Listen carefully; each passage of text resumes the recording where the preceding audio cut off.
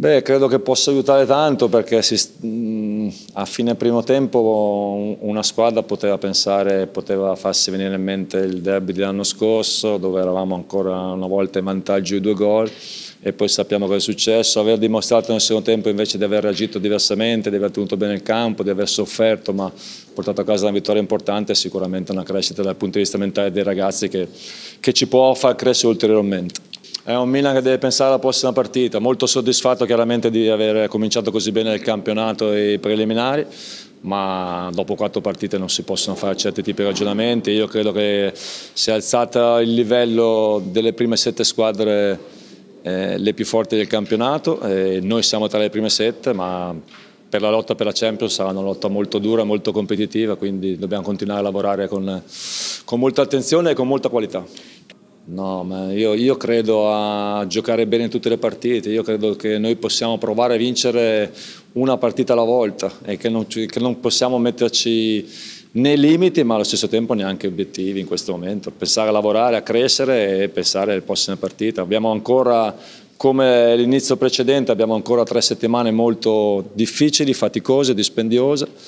Siamo voluti con tutte le nostre forze tornare in Europa e adesso dobbiamo cercare di di onorarla e di fare bene giovedì prossimo. Ma che spiegazione, penso che uh, avessimo iniziato bene il derby, um, nella giusta maniera, attaccando, creando anche delle situazioni, potevamo far gol noi, invece poi su due, su due ripartenze, su due contropiedi che abbiamo subito, eh, ci siamo ritrovati da, dal passare in vantaggio a, a, ad essere sotto di, di due gol eh, dispiace, dispiace perché eh, il Milan mm, è una squadra forte, è inevitabile che quando vai sotto di due gol contro una squadra forte poi diventa difficile. Eh, ci abbiamo provato, secondo me anche nel, nella giusta maniera perché abbiamo creato oh, tante situazioni, eh, potevamo oh, come minimo secondo me arrivare anche al pareggio però oh, complimenti al Milan perché hanno tenuto, bo- hanno tenuto botta, eh, sono stati resilienti e hanno conservato fino alla fine il, il vantaggio di un gol. Ma guarda, eh, questo è sempre un... Eh, è come si vede il, il bicchiere, no? Se lo si vede mezzo pieno o, o mezzo vuoto. Eh, sicuramente questa sera siamo stati penalizzati più del dovuto perché abbiamo concesso due gol, però al tempo stesso eh, potevamo farne eh, secondo me più di uno, qualcuno in più. È inevitabile che, che, che ci sia da lavorare, che ci sia da, ehm, da lavorare in alcune situazioni eh, e, cercare, e, cercare, di migliorare, però mh, mm,